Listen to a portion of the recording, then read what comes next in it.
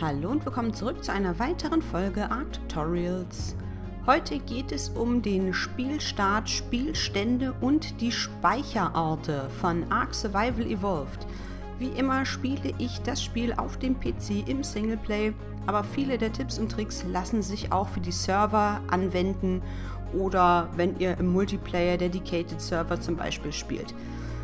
Wir starten einmal mit den Safe Games. Und zwar, ihr findet das Spiel, das wir beim letzten Mal heruntergeladen haben. Ja, wir haben es in der letzten Aufnahme gekauft und runtergeladen bzw. installiert.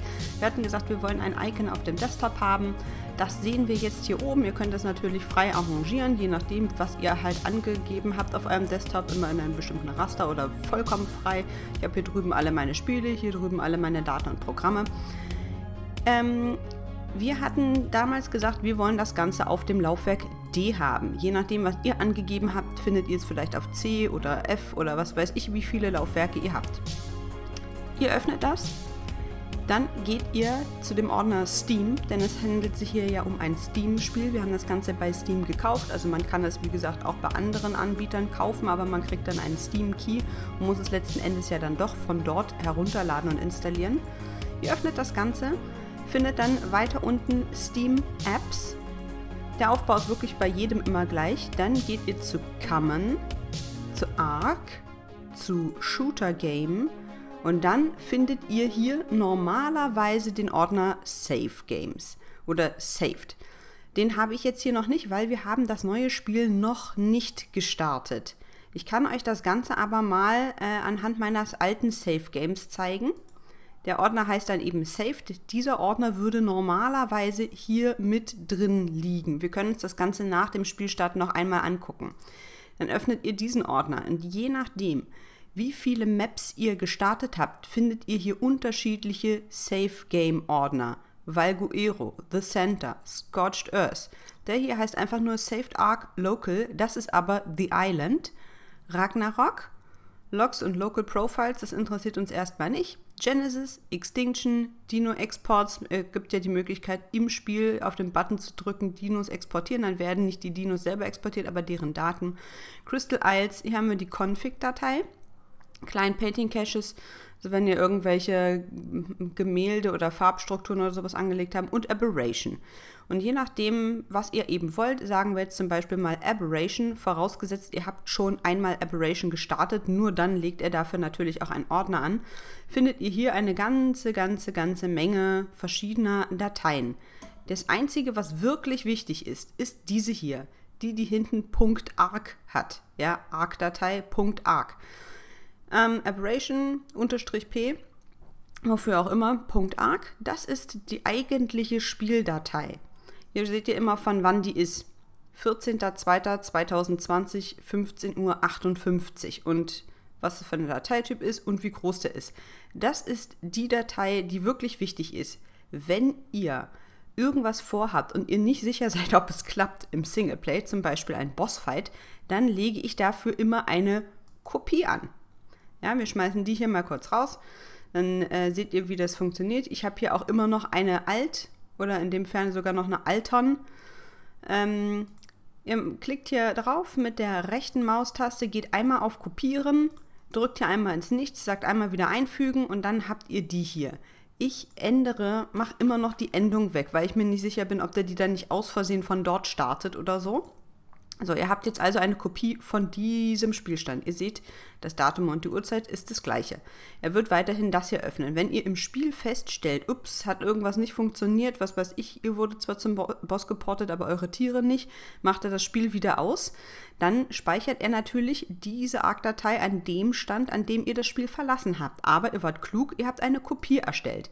Deswegen mache ich das dann häufig so, dass ich hier aus ARC einfach die letzten beiden Buchstaben wegnehme und Alt draus mache. Machen wir in dem Fall jetzt mal nicht. Ähm, weil wir haben hier schon eine Alt-Datei. Ja, das ist dann sozusagen die alte. Ihr könnt auch aus dem Alt einfach wieder arc machen, dann startet er die wieder neu. Und aus dem Bindestrich Kopie mache ich dann einfach wieder eine Punkt arc. Und dann würde er diese hier wieder starten. So. So legt ihr auf jeden Fall bombensicher eine Kopie eures Spielstandes an. Ihr nehmt die ARC-Datei und macht, kopiert sie einfach, fügt sie hier ein. Äh, ich gucke immer darauf, dass die Endung auch wirklich eine andere ist. Und wenn ihr die alte, kann ja sein, dass ihr sicher gehen wollt. Also ich würde sie nicht löschen. Ja, ich würde sie nicht löschen, bis ich mich nicht davon überzeugt habe, dass die Kopie auch wirklich funktioniert. So, hier habt ihr ähm, Tribute, Arc Tribute Tribe. Das müssten also verschiedene Tribe-Daten sein. Und dann äh, Profil. Äh, was haben wir hier noch? Hm, hm, hm, hm Anti-Corruption Bug und New Launch Bug. Das hier sind alles alte Speicherstände. Der legt die relativ zufällig an. Ihr seht die Daten 9.2., 12.07., 14.05. sind teilweise von 2019 in die Uhrzeiten.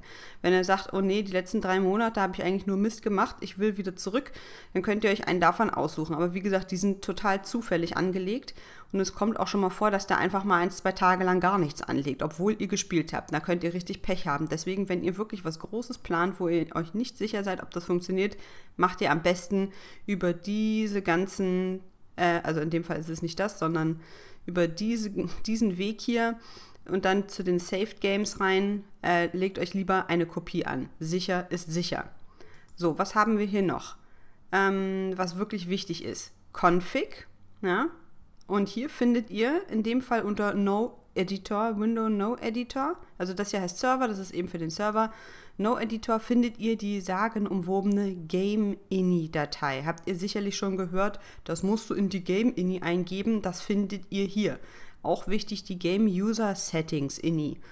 Also eure persönlichen Einstellungen und die Einstellung vom Spiel an sich. Ich trage, wenn ich was eintrage, es in der Regel in beide ein. Ich weiß nicht, ob es sein muss, aber mal funktioniert das eine, mal das andere. So, wie gesagt, wir haben jetzt erstmal das hier. Also das ist sozusagen der Speicherort und die Safe Games habe ich euch gerade gezeigt, wie man eine Kopie davon anlegt. Ihr könnt auch im Spiel in die Konsole, die öffnet ihr mit Tab, zeige ich euch gleich, den Befehl Cheat oder wenn ihr auf dem, also wenn ihr im Singleplay seid, braucht ihr Cheat nicht eingeben, aber ansonsten ist es Cheat oder sogar auf dem Server Admin Cheat, wenn ihr das nur für die Admins erlaubt habt. Und dann mit einer Freizeichen kommt das Wort Safe World. Also zusammengeschrieben. Und äh, dann sollte er auch einen Speicherstand anlegen. Ich hatte allerdings bisher nicht den Eindruck, dass das funktioniert, aber angeblich funktioniert es. Ich habe das schon mal gemacht, habe das Spiel ausgemacht, habe nachgeguckt und habe von dem Zeitpunkt keinen Speicherstand gefunden. Deswegen hm, weiß ich nicht. Wir würden jetzt einfach mal das Spiel starten. Ihr macht einen Doppelklick auf das Icon, falls ihr das Icon da draufgelegt habt. Ihr könnt aber auch direkt Steam öffnen und das Spiel aus der Bibliothek öffnen. Der muss jetzt Steam hier erstmal aufmachen. Eventuell gab es auch schon wieder irgendein Update. Und ähm, das kann halt mehr oder weniger lange dauern. Ja, es gab ein Update. Das heißt, wir werden uns das dann gleich nochmal angucken, wenn er dann soweit fertig ist. Wie gesagt, so startet ihr das Spiel über das Icon. Wenn das Update abgelaufen ist, zeige ich euch, wie ihr das Spiel über Steam selber startet. So, das Update ist nun durchgelaufen. Also wie gesagt, ihr könnt das Spiel über das Icon starten oder wenn ihr es hier unten in der Startleiste habt, auch über Steam Bibliothek oder in meinem Fall, ich habe das auch hier drin, müsstet ihr eigentlich auch unter S wie Steam, da findet ihr das Ganze auch. Und dann könnt ihr die Sachen, das war Skype und nicht Steam, man muss schon auch lesen, was da steht. Ähm, dot, dot, dot, S, wo ist S? Hier ist S, Skype, Steam, genau. So, dann könnt ihr das auch von hier starten, spielen, ja, genau. So, wenn ihr das über den hier macht, dann habt ihr hier die Möglichkeiten, verschiedene Sachen äh, noch mit zusätzlich auszuwählen, dass ihr dieses Battle Eye Anti-Cheat nicht haben wollt. Auf unoffiziellen Servern geht das aber nur. Das ist sozusagen die Matrix, die ermittelt, ob ihr Cheat-Commands eingebt. Das ist nämlich auf offiziellen Servern nicht erlaubt. Ob ihr das hier über DirectX 10, also mit Low-End-Grafik starten wollt, falls ihr nicht so leistungsstarke Rechner habt, oder mit Nvidia Ansel, da könnt ihr dann halt ähm, im Spiel sozusagen Pause machen und irgendwie coole Fotos machen, wo ihr euch auch um die Figuren drehen könnt und ähm, Reset Active Total Conversion. Also zum Beispiel, wenn ihr unter anderem auch ähm, Primitive Plus habt und ihr habt das letzte Mal mit Primitive Plus gespielt, dann ist das so, dass ihr normalerweise das Spiel startet, dann die Total Conversion ausmacht, das Spiel wieder ausmacht, das Spiel wieder startet. Wenn ihr es hier drüber macht, dann aktiv, also dann resettet er sofort alle aktiven Total Conversions. Mit Extreme Low Memory oder ohne Himmeleffekte wird es direkt gestartet. Aber es kann ja sein, dass schon beim Starten sich das Spiel aufhängt, weil zum Beispiel die Effekte im Himmel viel zu extrem für euren Computer sind und so weiter und so weiter. Ähm, ja, ich starte das Ganze in der Regel über das Icon. Wenn ihr Steam noch nicht auf habt, dann öffnet sich Steam damit auch automatisch. Vorher war das hier unten nicht in meiner Startleiste drin, jetzt ist es drin. Das Ganze dauert jetzt natürlich eine ganze Weile, bis das gestartet wird. Und je nachdem, wenn ihr dann später ähm, zum Beispiel mehrere Mods drin habt, dann dauert das Ganze auch einfach mal noch ein bisschen länger. Also jetzt hat er hier offensichtlich nicht die richtige Auflösung. Müssen wir dann in den Optionen... Ah ja, jetzt geht's. Okay, müssen wir dann gleich nochmal machen. So, ihr seht, es ist tierisch laut. Wir machen als allererstes mal die Gesamtlautstärke ach, deutlich leiser, die Musik leiser, die Effekte. Ich mache immer alles nur auf die Hälfte. Zack, okay, jetzt kann man auch vernünftig was hören. So, beziehungsweise ihr hört mich. Also, so sieht der Startbildschirm aus. Das Ganze hat jetzt hier offensichtlich noch nicht so ganz die richtige Auflösung. Ähm, ihr habt die Möglichkeit, einen ARC zu betreten, das heißt also einen Server. Ihr könnt euch hier verschiedenste Server aussuchen. Ihr könnt natürlich auch, wenn ihr wisst, wie der Server heißt, den ihr haben wollt, das hier oben eingeben. Ich kenne jetzt keinen. Ihr könnt zum Beispiel auch vorsortieren. Ihr möchtet auf jeden Fall auf The Island oder The Center oder sonst einer Map spielen. Dann könnt ihr das hier machen. Dann habt ihr nicht so viel in der Auswahl, sondern ein bisschen weniger. Hier könnt ihr wählen, welche Spielmodi, zum Beispiel PvP oder PvE oder eben alle. Und hier könnt ihr die ganze Sache zum Beispiel nach Namen, Spielern, Ping oder Tags sortieren. So. Und äh, möchten Sie Ihren eigenen EU-ARC-Server, wer weiß, wo man dann hingeleitet wird, wahrscheinlich auf eine Seite, wo man sich welche, genau, na, zu Nitrado zum Beispiel. Gibt ja auch noch andere Anbieter, da könnt ihr dann euren eigenen Server erstellen. So. Ähm, dann gibt es ja noch verschiedene andere Sachen, die ihr auswählen wollt. Include Session with Mods, also Spiel, also ähm, na, Server, in denen auch Mods mit dabei sind, ja oder nein. Ähm, du kannst hier auch deine Favoriten, du kannst ja als Favoriten markieren. Äh, volle Server nicht anzeigen, weil sie sind voll, da kommt ihr eh nicht drauf. Und hier könnt ihr auch nochmal nach offiziellen Servern, offizielle Legacy-Server, inoffizielle Server, also von die offiziellen sind die, die von Wildcard selber gestellt werden, inoffizielle sind von anderen Spielern gemacht ähm, nicht dedizierte Server. Meine Überlebenden, also da, wo man selber schon Spiele drauf hat, nach Favoriten, nach Freunden oder nach LAN, keine Ahnung, was das dann ist. Zum Beispiel, wenn ihr schon Favoriten drin habt, dann werden die euch hier angezeigt. Ja? Ihr könnt ähm, zum Beispiel über Steam bestimmte Server als Favoriten abspeichern. Könnt ihr natürlich auch hier. So, dann könnt ihr aussuchen, ich will auf den, wo ich zuletzt war oder wenn ihr den dann ausgewählt habt, dann sagt ihr beitreten, aktualisieren, dann würde er nochmal ähm, zum Beispiel, wenn da Mods drauf sind, die aktuellen Versionen runterladen. Falls ihr Favoriten habt und ihr wollt die nicht mehr, dann könnt ihr sie hier entfernen oder ihr brecht die ganze Sache eben ab. So, wir brechen das ab. Ihr habt auch die Möglichkeit hier ein lokales Spiel, das ist also das Singleplay. Zu den Einstellungen kommen wir dann beim nächsten Mal noch. Ähm, das wäre das, was ich machen würde. Hier könnt ihr euch eben aussuchen. Die, hier oben findet ihr die Arc Stories, also das sind die offiziellen Maps, also das Grundspiel The Island mit den Erweiterungen Scorched Earth, Aberration und Extinction aus dem ersten Season Pass und aus dem zweiten Season Pass Genesis 1. Genesis 2 soll ja irgendwann im Februar, glaube ich, oder im März 2021 kommen. Dieses Video hier ist aufgezeichnet am 4. Oktober 2020. So, hier sind die erweiterten Arcs, falls ihr sie euch runtergeladen habt. Center, Ragnarok, Valguero und Crystal Isles. Hier drüben seht ihr eure Mods. Wenn ihr Mods installiert habt, das zeige ich euch dann auch ein anderen Mal, dann habt ihr die Möglichkeit, sie hier unten, das sind die Mods, die ihr zur Verfügung habt, könnt ihr sie hier unten auswählen und hiermit da oben reinbringen. Nur wenn sie hier oben drin sind, wird die Map auch mit der Mod gestartet. An sich habt ihr die Möglichkeit, allgemeine Einstellungen zu machen, erweiterte Einstellungen oder zum Beispiel auch Engramme rauszuschmeißen, wenn ihr das nicht haben wollt. Ihr könnt eben ganz alleine spielen, einen dedizierten Server machen. Das heißt, ihr könnt andere Freunde sozusagen mit einladen. dann ähm, ist zum Beispiel, wenn ihr die ganze Session startet, euer Computer der Server und alle anderen spielen sozusagen über eine LAN-Verbindung mit auf eurem Server, Computerserver, sage ich jetzt mal.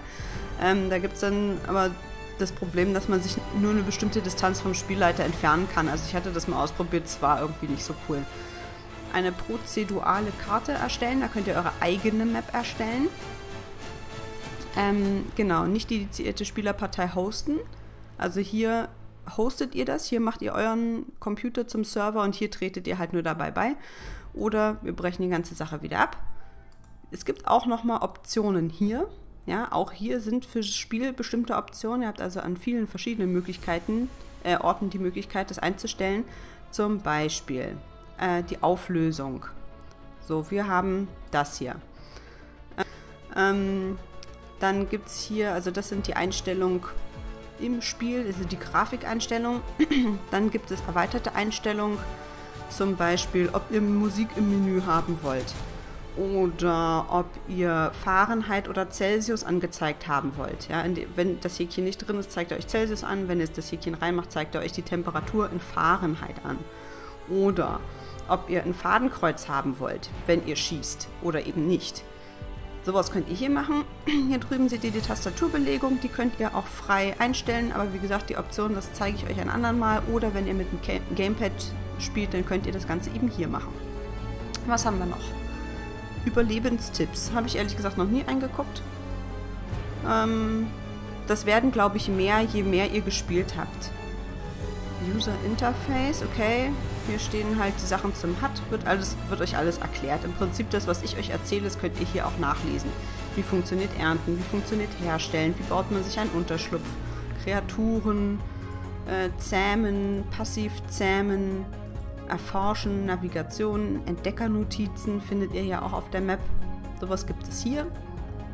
Dann haben wir hier die Credits. Das ist einfach nur, wer, der Abspann sozusagen, wer hat hier dran mitgearbeitet.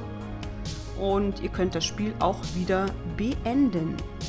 So, solltet ihr Total Conversions haben, zum Beispiel Primitive Plus, dann könnt ihr die hier einstellen. Wir haben jetzt aber keine. Ne, wir haben auch eingegeben, keine. Und äh, hier zum Beispiel Primitive Plus Official. Da könnt ihr also offiziell Primitive Plus spielen oder eben andere Total Conversions. So viel also zum Spielstart und zum Speicherort und zu den Safe Games im Spiel. So. Und ja, ich würde sagen, dass an dieser Stelle diese Folge dann auch schon wieder zu Ende ist. Es war eine ganze Menge Input. Ähm, wir sehen uns dann beim nächsten Mal. Ihr könnt mir so lange gerne ein Like da lassen oder ein Abo für den Kanal. Und wir sehen uns, wenn es das nächste Mal wieder heißt Let's Play Arc Tutorials. Bis dann. Ciao, ciao.